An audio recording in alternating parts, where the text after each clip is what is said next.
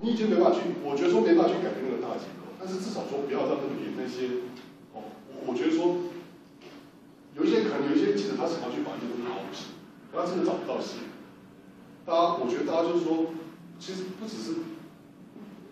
在在教室里面大家，包括外面很多人，其实都可以把那个线索给放出来，因为我觉得有人在找，有人一直在找这个东西，然后这个连出来，我我觉得那个社会还是至少不会烂到底的。我不我不敢讲说大改变，其实现在我都很难讲说什么大改，但是不会烂到。不要说一个新闻一坐下来看到尾巴全部都是网络新闻，不是网络，所以所以那种 YouTube 新闻，什么这只狗咬那只猫，老两只熊怎样，那是太可悲了。那你干脆就把新闻台改成所有的综艺节目算了，有必有必要硬撑吗？我我想问一下，就是那个大哥，你看到那个油污的那个事情的时候，你不会心里想哇独家，然后赶快放到？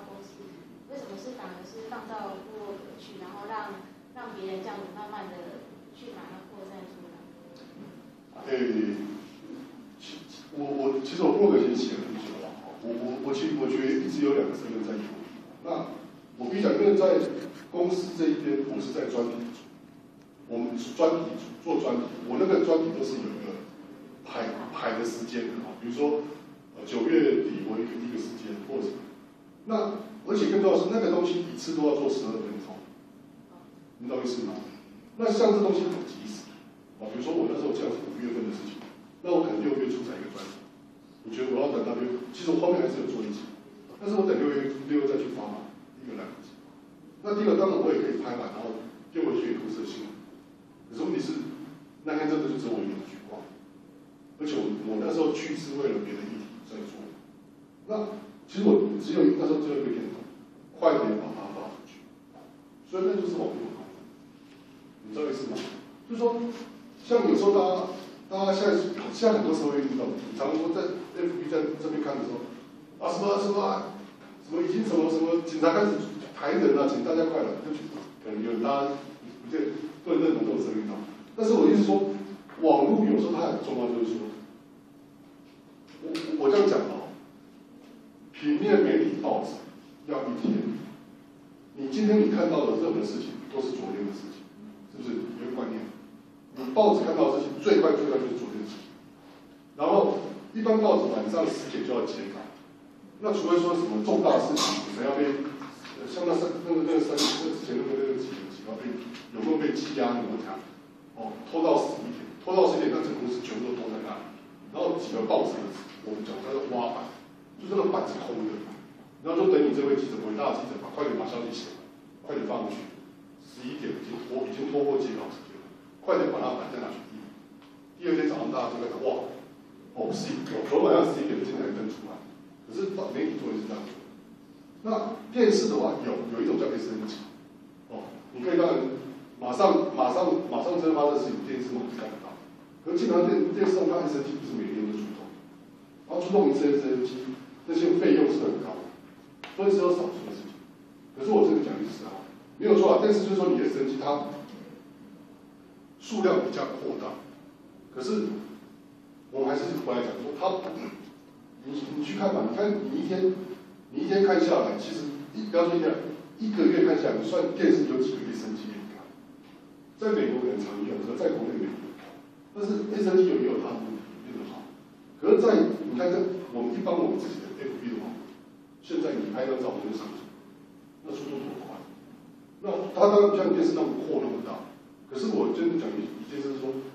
有时候一些事，有一些对某一些事情，关心的人关心，不关心的他可能还是要过一阵子他才有感觉。哦，我我就就所谓的传播速度而言，不要低过这所谓网络传播的，它很快。甚至现在更更已经已经到已经到那种，网络上也有直播了，所以你电视没有播，你电视越越升级，像之前什么八一八八零三七，在网络上你可没有参加，你都可以在网络上看到。发生了什么事？对，有时候你每天在，哦，这个这个事情你很关心，哦，可能你可能刚好到南部去或到哪里去，然后你觉得这个东西你是很关心的，电电视台一直说，哇，我还在播谁跟谁两个人又又传绯然后等等等，永远都一直想要看那个东西，你都看不到。那我我要讲说，其实去网络找，网络在很，其实它是很活泼的一个媒体，所以你在跟我讲的时候，我要讲一件事是说，那时候我第一个念头就是快点出，然后另外一个是，其实到我现在里面很多东西，我其实就部落格里面，就不管我自己的东西的话，其实大概是六十，其实六成是工作室、工作室、工作去去拍的，四成其实还是我自己在跑，因为我觉得有时候真的是不一样，有时候真的是不一样。我其实是要分享，因为老师刚开始比我，然后他又讲不出来。那是因为我去年啊，就是就是也是因为大学的课，然后就是去就是有有介绍，然后去上到老师他是开的农夫写作的培训班的课啦。那那那时候老师其实是教影像处理，影像处理。那其实他今天讲的是更上层，就是怎么去说一个故事。那上去年他是教我们用影像说故事，所以说。我们那一小组很幸运有分到一个农夫，啊，所以我们就学怎么用影像去说故事，所以我们就帮宜兰大姐，然后这个大姐很可爱，她是一个本来是一个会计，他有一个五分地，然后他就是住在田中央，但是后来他发现他得了脑下垂体癌症，那癌症之后呢，他回想到他原来是。就是用惯性农法，所以说用农药，然后他吃的米的那些不打紧，原来所有用的农药通通会飘到他家，最后他决定退休，因为差点死掉啊，就退休回去。然后就是我们就是用老师教的，然后那时候宜兰大姐讲一句话，到现在非常感动，她说郭老师就是要教大家影像处理的人非常多。可是会教会我们这种欧巴桑听得懂的，只有郭老师一个。那因为他，我觉得他是一个有血有肉，你可以借由他讲这个故事，你可以感受到他的温度。我觉得，所以我一直以来我就是用这个角度去写故事。所以后来我在他帮他在 Facebook 上面弄一个阿华田庄的粉丝团。然后呢，他他写的东西就那个阿华姐自己会拍照，因为刚开始是我去来帮他拍，但是你要靠别人真的很难。因为然后后来他现在开始他就会去拍照，拍照。那他也不是要卖他的东西，他因为他非常幸运，他是在宜兰行建村，那是一个有机村，所以他整个的环境是可以带着他走。所以他本来在农会，后来慢慢他现在成立工作室，然后呢，他他现在。刚开始有那个架构之后，他现在很简单，他连他那只猫就是走过晒谷场，那有阳光那一丈，他也可以说故事。然后前一阵子就是开心朗灰，我说好，现在给我朗灰，就是那个稻子，你们有听过吗？稻子朗灰就是它就是稻子开花，开花之后要结那个谷。结那个谷，那个叫朗灰啊。说哦，然后有些时候他会丢一个熟燕上去这样子。那那个那个那个粉丝团也是可以让大家就是借由讲故事去了解一个农村啊，怎么一个农田啊，怎么怎么去插秧啊、除草啊这些有趣的事情。我觉得不一定是不一，所以这个环境写作它不一定是说你一定要什么样的新闻性什么之类的。那像他这样的一个故事就。我我觉得我自己蛮感动的。那我我我，其实我就我我一直想要做一件事情啊，其实有点像比较想做从总结，就是刚开始我什么亮剑是当阶是什么阶是，到最后是什么阶是，根本没有阶是。我的意思在这里，我我不是说跟大家讲的那些，其实大家都开始吓到。其实我就是要告诉说，把这东西丢掉。其实很重要一件事情，任何一个人。本来就有感觉，本来就会书写，会会会说话，会会用各种媒体去表现你的感情，那个就是一个传播了。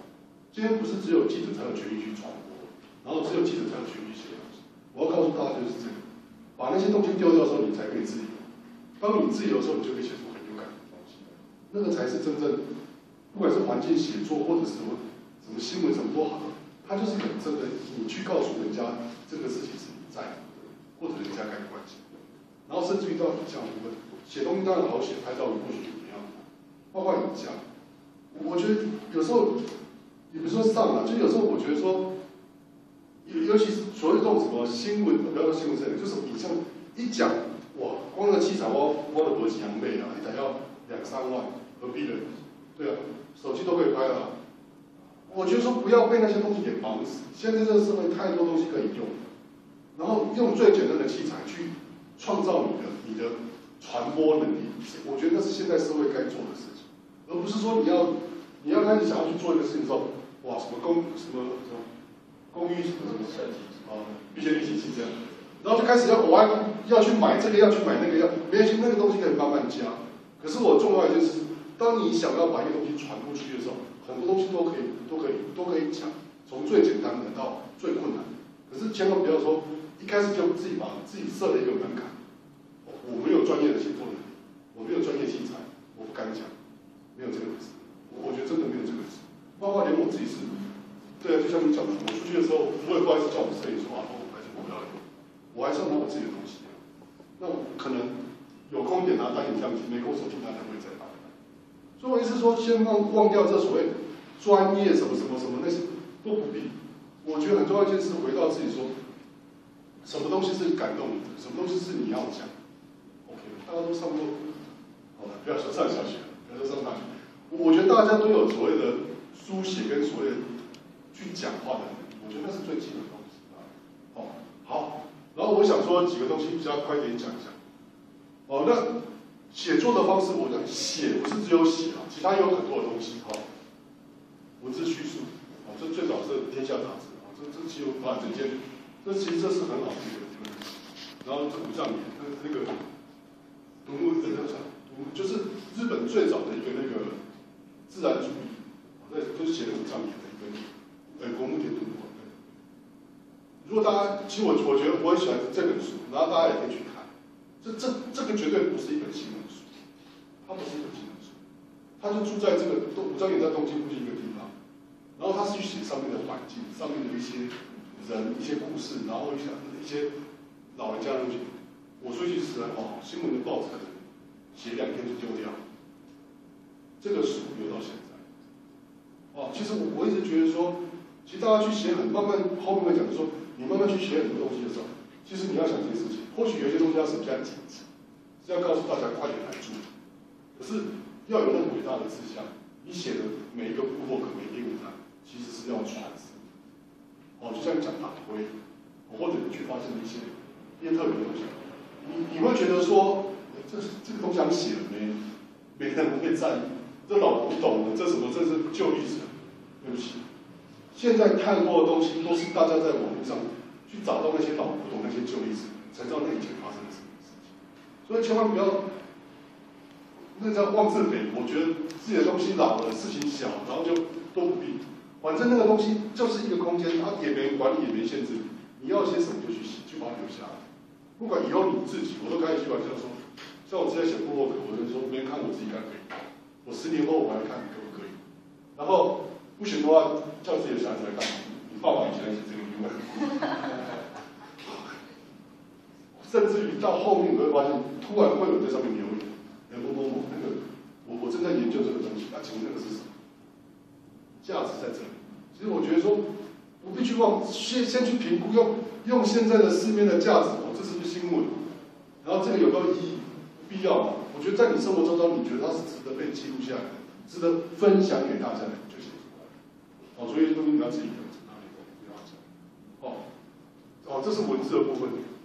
那一种是影像。哦，透过一些拍照，哦，录影，呃，主要是拍照，然后去把一些东西留下来。这不管是，这是这这哪里？哦，糖厂那个那个那个什么呢？西宁那个西宁那个什么？西宁那个什么？就他那个糖厂，就是等于是他最后一次烧那个碳金砖，所以大家那时候我记得好像大家在抽人啊，就跑去拍那个烟，冒最后一次的烟。可是我跟大家讲这是几，最后一烟我就在里面。那至少是做一个影像的哈，然后茶杯了，哦，然后这是在那个土沟社区，在台南的一个那个一个土沟村，有有去过吗？社区过，OK，就台南一个土沟村，他就在做那个社区营造。然后我觉得这个地方我很感动，就是说，现在很多社区营造都拼命，第一件事就想的是怎么出去观光，哦，怎么让这个地方可以赚到钱。可是我觉得他们这样有一个很很对的一步，他那时候没有在想到什么怎么怎么。赚到钱怎么花花？他的念头第一个是怎么样让村子里面因为都是老人家嘛，让村